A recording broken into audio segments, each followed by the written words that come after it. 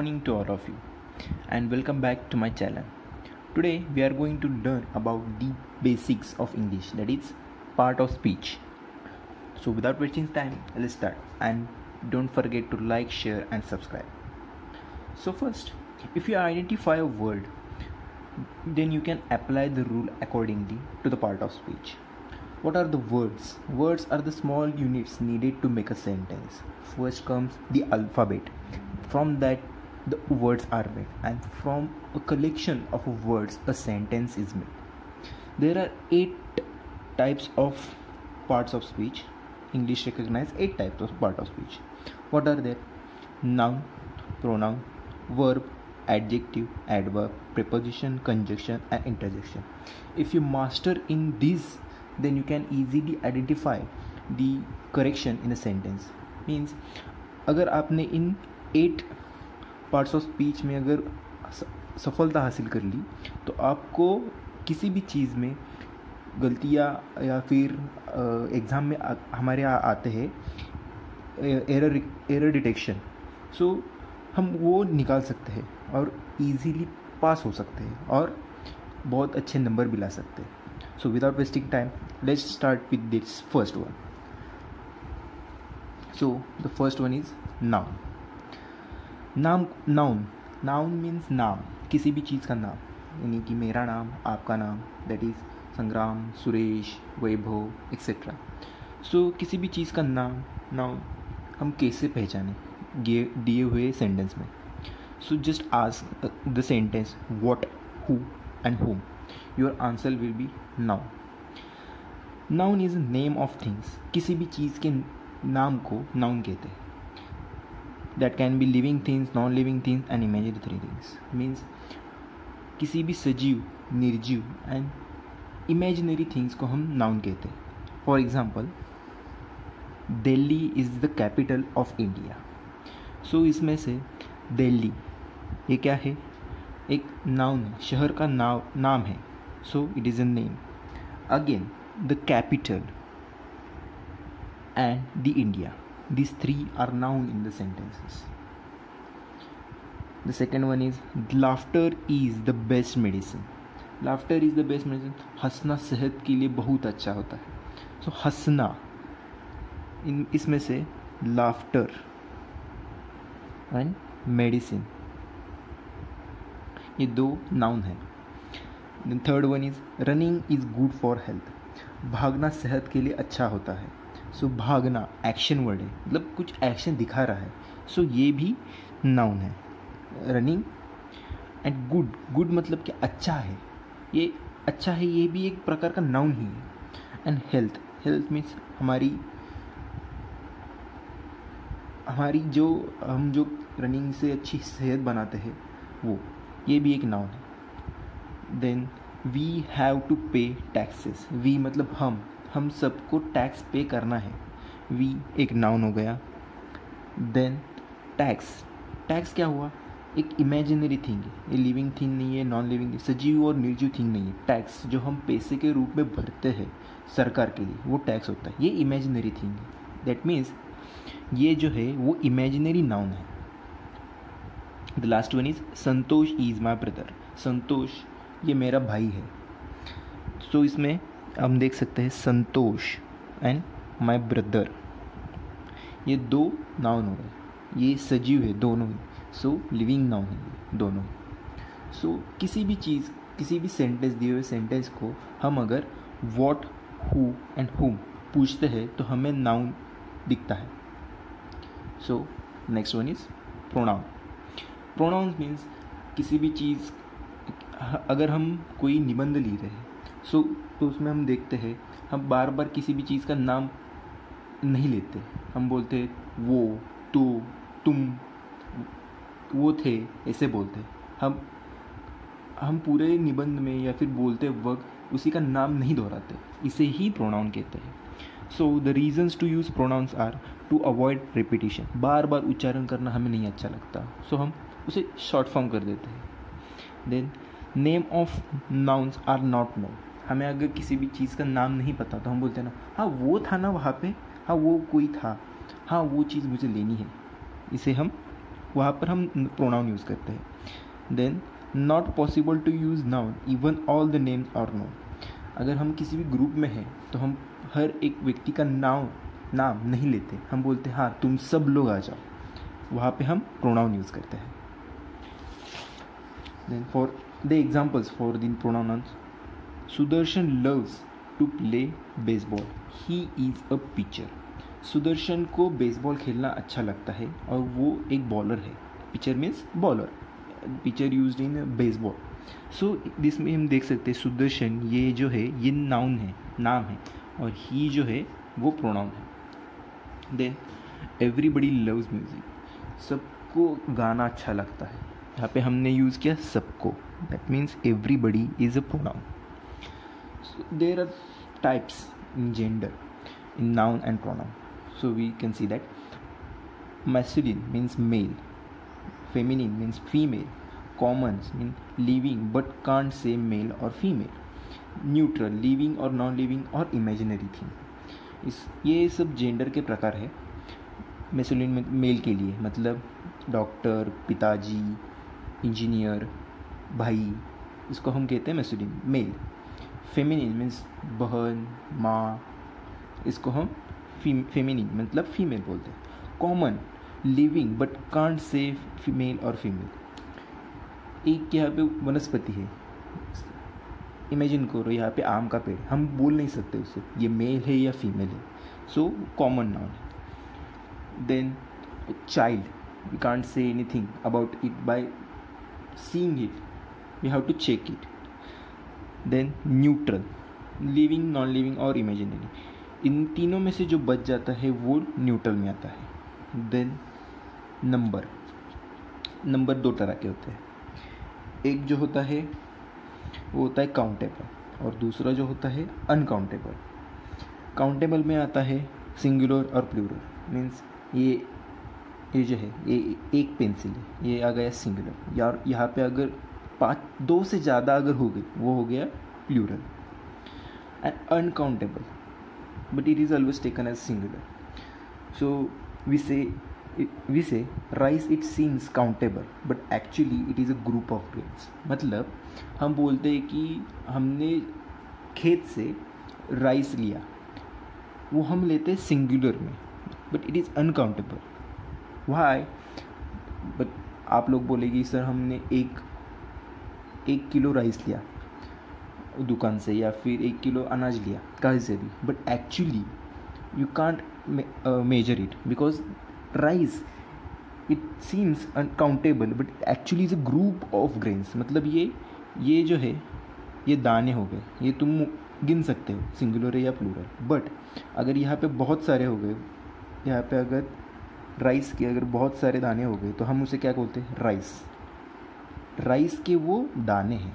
इसलिए वो अनकाउंटेबल हो गया, लेकिन वो सिंगुलर है। देन आगे आता है persons speaker that is first person मतलब मैं आपसे बात कर रहा हूँ तो वो आ गया first person that is I we my mine me etcetera then speaker speaking to the second person मतलब आप लोग जो सुन रहे हैं मुझे, वो आप लोग आ गए second person you your yours etcetera first and second person talking about the third person. मतलब अगर आप दोनों, आप और आपका मित्र मिल के अगर तीसरे व्यक्ति के बारे में बोल रहा है तो वो आ गया third person. Like he she it they them their hers etcetera ये आते हैं पर्सनस के बारे में। और ये हो गया हमारा नाउन एंड प्रोनाउन सो आगे बढ़ते हैं। आगे आता है वर्ब वर्क के दो प्रकार होते हैं। एक स्टेट वर्क और एक एक्शन वर्क स्टेट वर्क का मतलब होता है होना एंड रहना। और एक्शन वर्क का मतलब है करना। किसी भी चीज़ को हम एक्शन से दिखाते हैं तो वो हमें होता है action work for example running से that state work action work and he he is तो वो आ गया होना, रहना। For example of the state India is a country Sumitra has many friends so इसमें स्टेट वर्ब है. अब इसमें स्टेट वर्ब कहाँ से ढूंढा मैंने? तो ये आ गया स्टेट वर्ब बिकॉज़ ये वर्ब है, ये कोई एक्शन नहीं दिखा रहा. तो ये आ गया स्टेट वर्ब होना या फिर रहना. इंडिया क्या है? कंट्री है. Sumitra has many friends Sumitra को क्या है? Has many friends similarly example of action verb she sings well he broke the glass वो कैसी गाती है? क्या वो क्या कितना अच्छा गाती है? सिंग्स ये अगर दिखा रहा है, वो गाती है, करती है। ही ब्रोक द ग्लास उसने कांच का बर्तन तोड़ा. ब्रोक यहाँ पे आ गया ब्रोक क्योंकि ये एक्शन है. उसने तोड़ा है वो. ग्लास का जो बर्तन था वो गार का ग्लास था वो तोड़ा उसने। सो so, यहाँ पे आ गया वो हमारा action time of the verb is called as a tense अगर वर्ब का time of the verb is called as a tense tense का मीनिंग ही होता है कि अगर वो टाइम दिखा रहा है तो ही हम उसे टेंस बोलते हैं। हम अगर मैंने अगर यहाँ पे लिखा टुमारो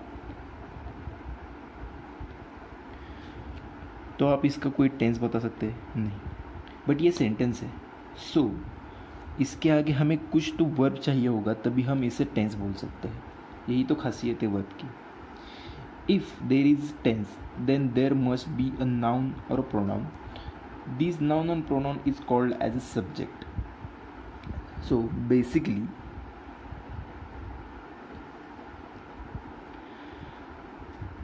subject का क्या मतलब है?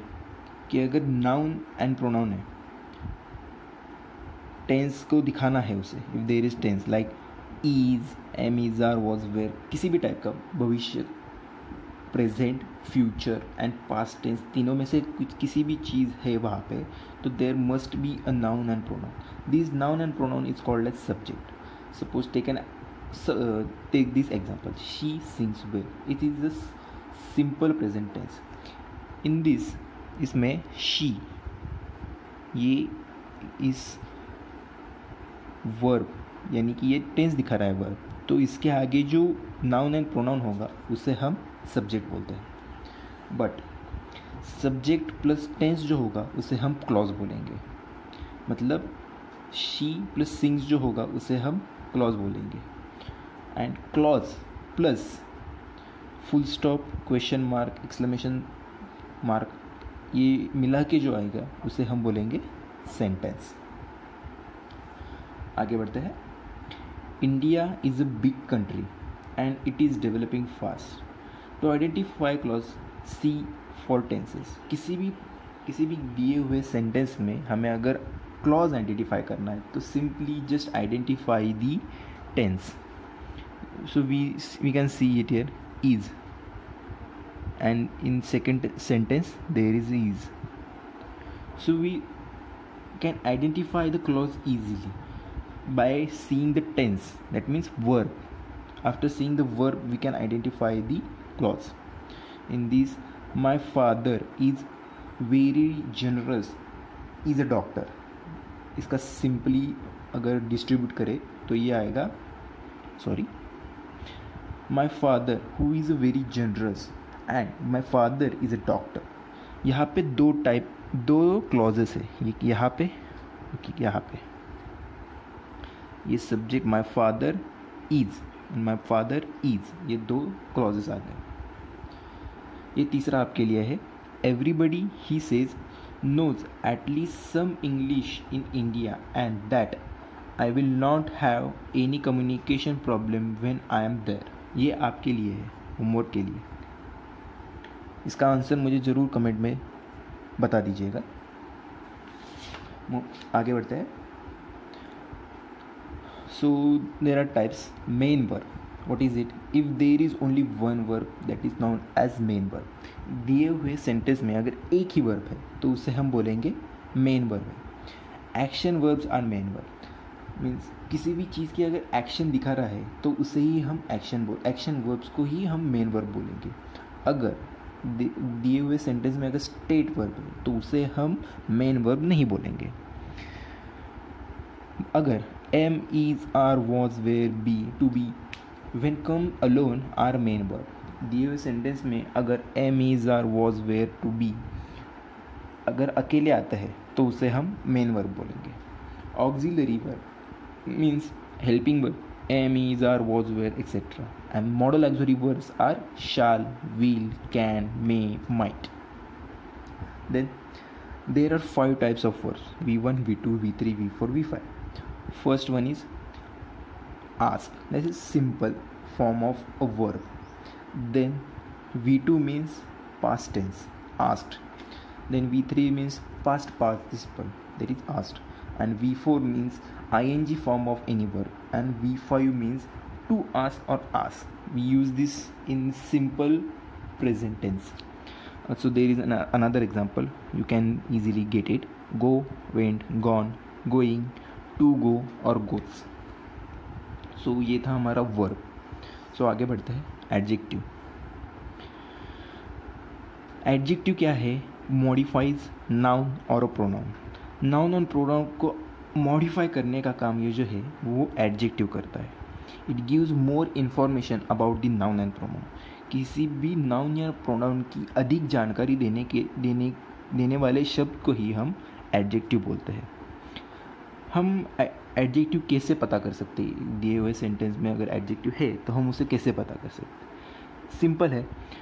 हाउ स्टेट वर्ब जो हमारे होते हैं, उसे हम प्रश्न पूछेंगे how whose what what colour size opinion etcetera अगर हमने पूछा किसी भी सेंटेंस की सेंटेंस में दिए हुए वॉट कलर और वॉट साइज़ और what opinion is giving then our answer will be adjective this three types use to identify the adjectives ये एडजेक्टिव जो होता है, वो कहाँ पे आता है? Position before a noun noun के पहले, after a state verb state verb जो होता है उसके बाद में, या फिर समटाइम्स आफ्टर अ नाउन ये कभी कभार आता है after a noun articles can be adjective such as she is a doctor article जो होता है, ये भी आता है. ये जो है, वो हम आसानी से पढ़ सकते हैं और आसानी से ढूंढ भी सकते हैं. If we ask how, whose, or what color, what size, or what opinion, such questions, then we identify the adjectives in the given sentences. so, ये था हमारा adjectives. आगे बढ़ते हैं adverb. So, adverb gives extra information about ये adverb भी एक तरह के extra information ही देता है but ये एक्स्ट्रा इन्फॉर्मेशन किस चीज़ के बारे में देता है? वर्ब के बारे में देता है, खुद एडवर्ब के बारे में देता है एडजेक्टिव प्रेपोजिशन कंजक्शन इन सब के बारे में जो अधिक जानकारी देता है, उसे हम बोलते हैं एडवर्ब इन सब के एक एक एग्ज़ाम्पल देख लेते हैं, आपको समझ में आ जाएगा.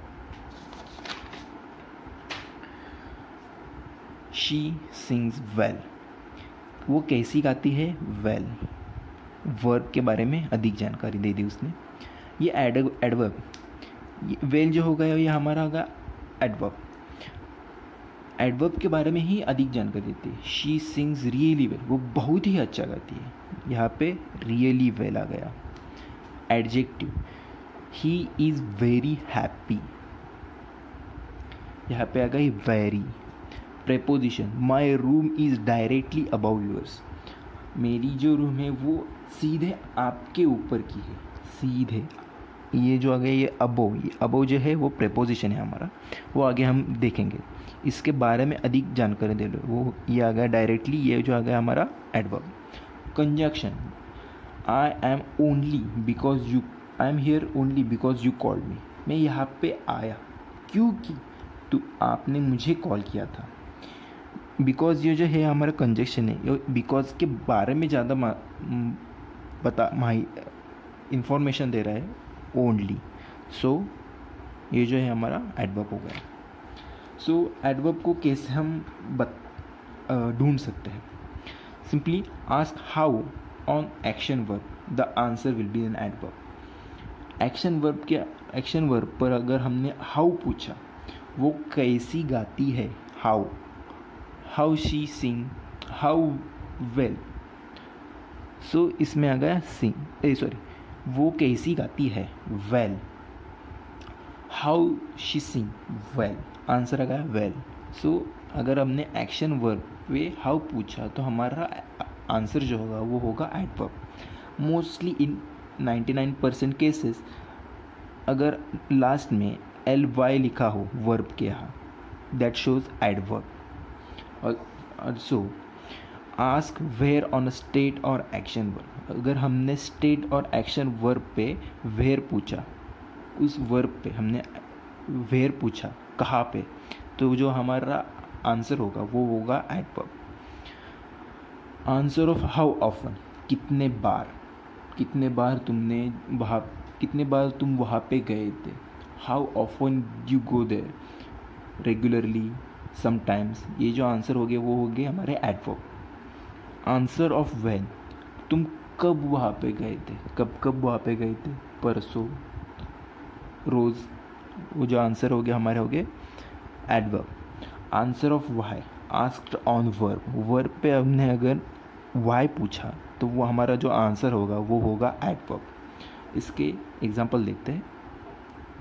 She is coming here tomorrow वो वो यहाँ पे कल आने वाली है। अगर हमने यहाँ पे देखा टुमारो वो कल आने वाली, कब आने वाली है? कमिंग हियर कब आने वाली है? Tomorrow we eat to live हम खाते, जीते हैं खाने के लिए. हम खाते हैं जीने के लिए. तो यहाँ पे हमारे आ गए to live he never comes late वो कभी लेट नहीं आता है. तो यहाँ पे आ गया लेट और नेवर अधिक जानकारी दे रहा है कम्स के, कम के बारे में। My brother has not come yet और इसमें भी दो टाइप दो एडवर्ब्स है। My brother has not come yet वो, हमने यहाँ पे देखा she is coming here tomorrow वो कब आ रही है कब आ रही है?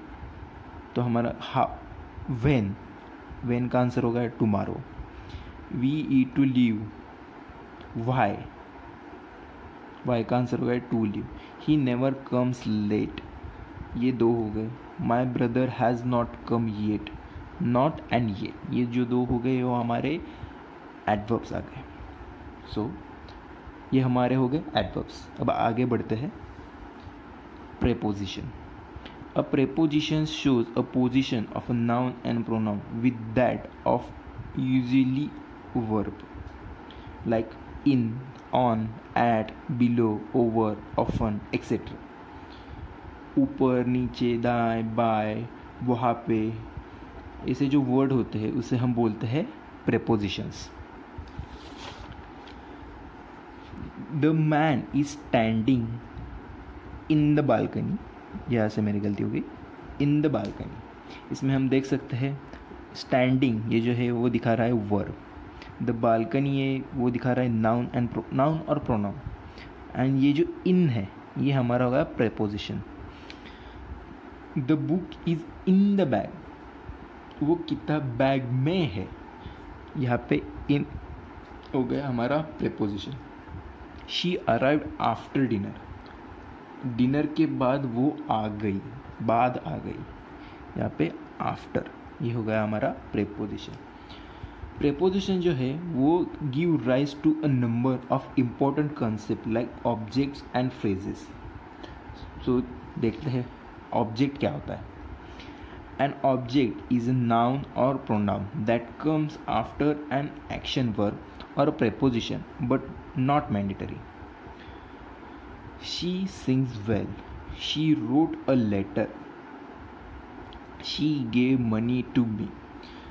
Object जो है वो नाउन एंड प्रोनाउन मतलब एक नाउन या फिर प्रोनाउन आ सकता है. That comes after action verb action verb के बाद जो आते हैं नाउन एंड प्रोनाउन उसे हम बोलते हैं object like well action verb हमारे आ गया सिंग्स उसके बाद वेल आ रहा है तो वेल को हम बोलेंगे हमारा object she wrote a letter उसने एक लेटर लिखा। लिखने की उसने क्रिया करी। तो ये आ गया हमारा एक्शन वर्ब और ये लेटर जो आ गया, वो हमारा आ गया action object she gave money to me उसने मुझे पैसे दिए। देने की क्रिया की। तो गेव जो हो गया हमारा गेव जो हो गया हमारा action verb and money and me ये हो गए हमारे object and what is complement complement is after state verbs only words or words it is known as complements state verb के बाद जितने भी अक्षर आए, उसे हम बोलते हैं कॉम्प्लीमेंट अशोक इज़ इज़ जो हमारा स्टेट वर्ब है। उसके बाद कुछ भी आ जाए, ये सब हो गए complement a cricketer the rose smell sweet वो गुलाब है, वो बहुत अच्छा सुगंध दे रहा है। तो स्वीट जो हो गया हमारा complement similarly she has a bungalow उसके पास एक बंगलो है। हैज़ स्टेट वर्ब है।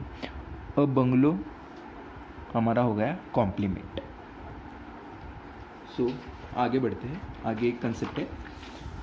फ्रेजेस सो फ्रेजेस क्या है? A phrase is a group of words with some meaning and no tense मतलब it is group of words उसकी कुछ मीनिंग भी हो सकती है और कुछ मीनिंग नहीं भी हो सकती, या फिर कभी कभार टेंस भी नहीं दिखा सकता। उसे हम बोलते हैं phrase a phrase gives extra information about another word in a sentence that is adverb or adjective phrase जो है, वो एडवर्ब और एडजेक्टिव का काम करते हैं। मतलब वो इधर सेंटेंस में दिए हुए, अगर सेंटेंस में दिए हुए अगर शब्द हो गए, वो phrase is just uh, gives extra information about noun or pronoun. So what we call the, the extra information of the noun and pronoun adjective and adverb. There are three types. Basically three types noun phrase adjective phrase adverb phrase. So a phrase may start with any word, but extra information is usually provided by prepositional phrase or verbal phrase. So prepositional phrase क्या है? देखते हैं पहले। Preposition plus other words optional है ये plus noun and pronoun is equal to a prepositional और extra information prepositional phrase और extra information but ये प्रपोजिशनल फ्रेज जो है ये आइदर एडजेक्टिव का, का काम करेगी या फिर एडवर्ब का, का काम करेगी। तो इसमें इसमें से एग्ज़ाम्पल देखते हैं हम। The book is on the table the book on the table is my जो किताब टेबल पर रखी है वो मेरी है। इसमें हम देखते हैं ऑन ये क्या हो गया हमारा? प्रपोजिशन हो गया। The table the book on the table is mine किसके बारे में अधिक जानकारी दे रहा है ये? टेबल के बारे में। टेबल पे रखी हुई बुक के बारे में। सो so, ये आ गया हमारा prepositional phrase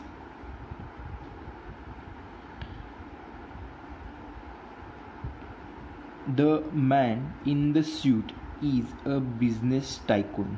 यहाँ पे इन जो है ये प्रेपोजिशन है। सो so, इससे आप बता पता कर सकते हैं प्रेपोजिशनल फ्रेज क्या होगी। She talks in an eloquent manner in यहाँ पे प्रपोजिशन है। एंड इलिक्वेंट मैनर ये जो है हमारी प्रपोजिशनल फ्रेज है। प्रपोजिशनल फ्रेज क्या कर रही है? ज़्यादा जानकारी दे रही है नाउन एंड प्रोनाउन के बारे में। और ज़्यादा जानकारी नाउन और प्रोनाउन के बारे में कौन देता है? Adjective or adverb so the answer is से सो आगे बढ़ते हैं। What are the verbal phrases the three types we have seen verbal phrase noun phrase so starting with the verbal phrase verbal phrase is V three or V four without helping verb plus other verbs plus noun and pronoun is equal to verbal phrase. Verbal phrase भी either adjective और adverb का role अदा करती है। Singing a song he wash his car गाना गाते हुए उसने उसकी कार धो दी। यहाँ पे क्या है? ही नाउन है। लेकिन यहाँ पे हम देख सकते हैं, यहाँ पे सिंगिंग सिंगिंग के बाद कोई टेंस नहीं है। सो ये आ गया हमारा फ्रेज बट ये फ्रेज क्या कर रही है? एडजेक्टिव का काम कर रही है। हमने देखा है पहले भी एडजेक्टिव कहा किस पे पूछते हैं? एडजेक्टिव कैसे हम पता कर सकते हैं? State word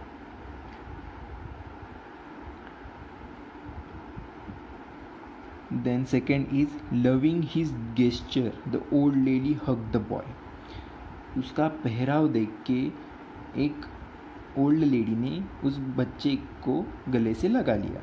यहाँ पे हमने देखा, द ओल्ड लेडी ये क्या है? नाउन है। और ये एडजेक्टिव कैसे हो यहाँ पे लविंग है, बट यहाँ पे कोई टेंस नहीं है, लविंग के बाद। सो ये हमारा हो गया वर्बल फ्रेज और ये ही एडजेक्टिव का रोल भी अदा कर रहा है। डिली delighted by the news we started shouting यहाँ पे वी नाउन है। और डिलाइटेड के बाद कोई टेंस नहीं है। तो ये हमारा हो गया verbal phrase that is adjective then next one is noun phrase adverb optional है प्लस एडजेक्टिव प्लस नाउन ये भी क्या करता है? आइदर सब्जेक्ट और ऑब्जेक्ट जो एडवर्ब होगा, वो आइदर सब्जेक्ट हो या होगा या फिर ऑब्जेक्ट होगा. For example the teacher taught us in English हमारे शिक्षक हमें इंग्लिश में पढ़ाते हैं। द टीचर क्या हो गया हमारा? नाउन फ्रेज इन इंग्लिश क्या हो गया हमारा? Prepositional phrase that is adverb हो गया ये। हमें पढ़ाते हैं। किसमें पढ़ाते हैं? इंग्लिश में। सो so, ये हो गया हमारा adverb that is prepositional phrase क्योंकि यहाँ पे इन है। आगे देखते हैं। One of my friend is or are a teacher यहाँ पे बहुत लोग गलती करते हैं ये देखते हैं वन है ऑफ़ माई फ्रेंड से तो यहाँ पे ईज होगा या आर होगा। यहाँ पर देखना क्या है? वन ये क्या है? सब्जेक्ट डेट इज़ प्रोनाउन है हमारा। ऑफ़ ये क्या दिखा रहा है? ऑफ़ मीन्स प्रेपोजिशन है। सो so ये हमारा हो गया प्रेपोजिशनल फ्रेज हम टेंस किस पे दिखाते हैं? सब्जेक्ट पे प्रोनाउन या नाउन पे। सो so, अगर हमने देखा वन इस पर क्या आएगा? ईज आएगा या फिर आर ज़ाहिर सी बात है ईज ही आएगा। एक पर हम क्या बोलते हैं? अनेक थोड़ी ना है तो उसमें हम आएगा ईज और टीचर ये और टीचर क्या है? हमारा कॉम्प्लीमेंट सो so, आगे बढ़ते हैं. हम ये हमारे हो गए वर्ब्स आगे देखते हैं. कंजंक्शंस कंजंक्शंस क्या है? Words that can link other words phrases or clause together ये जोड़ने का काम करता है दो से ज़्यादा वर्ड्स को फ्रेजेस को और क्लॉजेस को. There are three types of conjunction coordinating conjunction correlative conjunction subordinating conjunctions coordinating conjunctions क्या है? Joins equal grammatical rank in a sentence मतलब एक ही रैंक के, एक ही सेंटेंस फ्लो का सेंटेंस होगा, उसे जोड़ने का काम जो करते हैं, उसे हम बोलते हैं coordinative conjunction common coordinative conjunctions क्या क्या है? For and nor but or yet and so trick to remember these coordinating conjunctions are FANBOYS F for for A for and N for nor B for but O for or Y for yet S for so इसका एक example देखते हैं। I would like pizza or salad for lunch we needed a place to concentrate so we packed up our things and went out library इसमें हम देख सकते हैं और एंड ये जो है हमारे कंजक्शन से ये हो गए हमारे कोऑर्डिनेटिंग कंजक्शन ये एक ही सेंटेंस में फ्लो का सेंटेंस है। उसे जोड़ने का काम कर रहे हैं। इसलिए हम उसे बोलते हैं कोऑर्डिनेटिंग कंजक्शंस सेकेंड टाइम देखते हैं। कोरिलेटिव कंजक्शंस कोरिलेटिव कंजक्शंस क्या है? Pair of conjunctions that work together वो जोड़ने का ही काम करते हैं बट एक साथ रहते हैं। देखते हैं कौन से कौन से है वो। Either or neither nor not only but also etcetera इसका एक एग्ज़ाम्पल देखते हैं। Not only I finish studying English but also history मैंने इंग्लिश की पढ़ाई फिनिश की और हिस्ट्री की भी की। इसमें देखते हैं हम नॉट ओनली बट ऑल्सो ये हमारे हो गए को रिलेटिव कंजक्शंस आगे बढ़ते हैं। सबऑर्डिनेटिंग कंजक्शंस ये क्या है? Join independent and dependent clauses ये भी जोड़ने का ही काम करते हैं, लेकिन किसी चीज़ का कोई मतलब ना हो और दूसरी चीज़ का कोई मतलब ना हो, उसे भी जोड़ने का काम करते हैं और डिपेंडेंट क्लॉज का जोड़ने का ही भी काम करते हैं। Can signal cause and effect relation a contrast or some kind of relation between the clauses of what are the subordinating conjunctions subordinate conjunctions कौन कौन से है? After although as if as long as as much as once in case where. Now what unless, until, where, while, even if, by the time etc ऐसे बहुत सारे हैं। इसका एक एग्ज़ाम्पल देखते हैं। I can stay but I can stay out until the clock strikes twelve मैं बारह बजे तक रुक सकता हूँ। बारह बजे तक। यहाँ पे आ गया हमारा अंटी ये आ गया हमारा सबऑर्डिनेटिंग कंजक्शन और इंटरजेक्शन का तो आपको पता ही है। An interjection is a word that you throw in between sentences or thoughts to express a sudden feeling जो हमारी फीलिंग होती है सडन फीलिंग आती है। अरे बाप रे, अब हम कैसा करेंगे? आ ऐसे जो हम बोलते हैं ouch oh my wow yikes ऐसे जो वर्ड्स है, उसे हम बोलते हैं इंटरजेक्शन बट इसमें भी स्टूडेंट्स क्या गलती करते हैं लिखने में? Gee I hadn't thought of that ये एक ही सेंटेंस आपने लिख दिया बट इंटरजेक्शन से वो आपको अलग से दिखाना पड़ता है। Gee I hadn't thought of that और यहाँ पे आ गया हमारा इंटरजेक्शन मार्क ये सेपरेट दिखाने के लिए हमें यहाँ पे कॉमा देना पड़ता है। अब ये हो गए हमारे पार्ट्स ऑफ़ स्पीच सो धन्यवाद और मुझसे आगे भी जुड़ने के लिए लाइक शेयर एंड सब्सक्राइब करना मत भूलिए। Thank you